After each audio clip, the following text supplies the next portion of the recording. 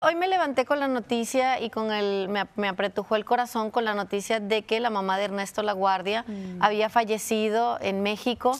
Eh, él está pasando por un momento difícil. Lo comunicó él mismo en sus redes sociales. Acaba de fallecer su mamá, doña Yolanda Longega Castellanos. Según él mismo describe, la señora falleció rodeada de sus cuatro hijos y agradeció el apoyo de sus mm. seres cercanos en este momento.